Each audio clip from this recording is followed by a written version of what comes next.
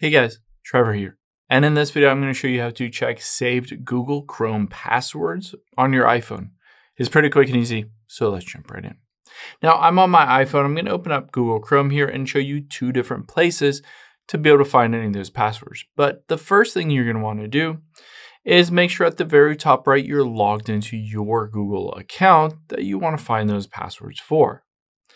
After you've done that, let's tap on the three dots at the bottom right and you can see the little shortcuts here. I can swipe over and tap on Password Manager, and it will show me all of the passwords associated with this Google Chrome slash Google account.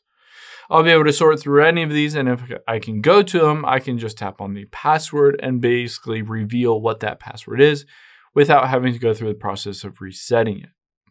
Now, another option is you can always just go to my account google.com. So again, myaccount.google.com. Once we're here, I can swipe over and just tap on security. And I can scroll down a bit, keep scrolling down, and you can see towards the bottom is password manager. Tap on manage passwords here, and depending on your settings, you'll be able to see all of your passwords on here as well. If you wanted to go through the process of seeing any of them, deleting them, copying the password or username or email address or whatever you want. I hope this helps. If it did, hit the subscribe button down below. It really helps me out. And I'll catch you on the next one.